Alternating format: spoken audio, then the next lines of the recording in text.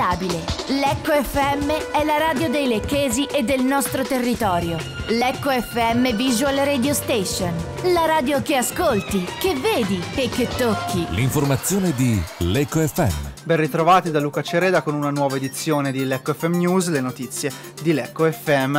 Apriamo il giornale con l'inaugurazione del ponte di Annone avvenuta oggi sotto gli occhi del presidente regionale Attilio Fontana e del ministro delle infrastrutture Danilo Toninelli. A più di due anni e mezzo dal tragico crollo che costò la vita al civatese Claudio Bertini, la nuova struttura che scavalca la statale 36 è finalmente aperta. Da quel tragico tardo pomeriggio del 28 ottobre 2016, lunghe attese, rimpalli di responsabilità, poi l'avvio dei lavori che su mandato del Ministero dei Trasporti sono stati appaltati ad ANAS. A fine maggio scorso inizia a prendere forma il nuovo ponte, l'unica campata di acciaio lunga 44 metri, del peso di 250 tonnellate, è stato posato e sono stati necessari i 30 giorni per l'allestimento della struttura tramite la realizzazione della sede stradale e delle piste ciclabili, l'installazione dell'impianto di illuminazione e la posa delle barriere laterali e infine il collaudo collaudo avvenuto proprio la scorsa settimana, 8 camion pesanti 45 tonnellate l'uno hanno stanzionato sulla campata per il test di carico e dopo le necessarie verifiche con apparecchiature topografiche la struttura è risultata idonea all'utilizzo nel nostro servizio che trovate sul sito www.lecofm.it e alle 19 in onda anche sulla nostra pagina Facebook le parole di Attilio Fontana e di Danilo Toninelli presenti oggi all'inaugurazione. Cambiamo argomento. Intanto quello appena trascorso è infatti stato un weekend d'inferno per gli automobilisti che si sono dovuti spostare sul nostro territorio perché il traforo del Monte Barro è stato chiuso in parte nella giornata di sabato fino alle ore 18 di domenica circa per interventi di messa in sicurezza della volta della galleria a causa della caduta di alcuni calcinacci.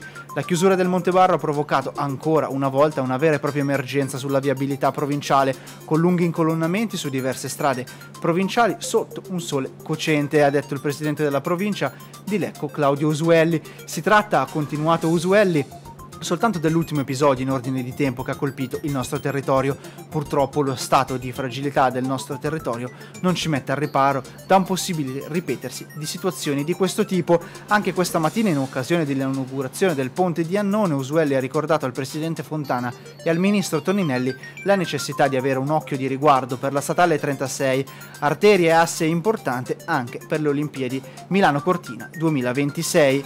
E cambiamo ora argomento la giunta comunale ha approvato un documento denominato Decalogo Eventi Green per promuovere e diffondere buone pratiche finalizzate alla riduzione della produzione di rifiuti e a una loro gestione corretta e sostenibile durante feste e sagre. Un documento che promuove per quanto riguarda la, mo- la mobilità un decalogo che consiglia di favorire spostamenti con mezzi di trasporto pubblici condivisi come il car sharing o green, piedi o bicicletta, mentre sul fronte dell'impatto energetico promuove fonti rinnovabili o basso consumo, dai pannelli solari fotovoltaici, a riduttori di flusso, a lampadine a risparmio energetico oppure LED.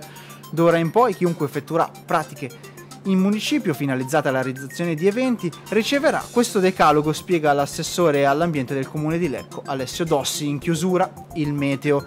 Nonostante le forti raffiche di vento che si sono abbattute su Lecco in queste ultime ore, i vigili del fuoco fortunatamente ci fanno sapere che non ci sono segnalazioni di disagi legati al vento. E continuate a seguire Lecco FM in diretta sui nostri canali social per restare sempre aggiornati. Da Luca Cereda è tutto, appuntamento alla prossima edizione di Lecco FM News. L'informazione di Lecco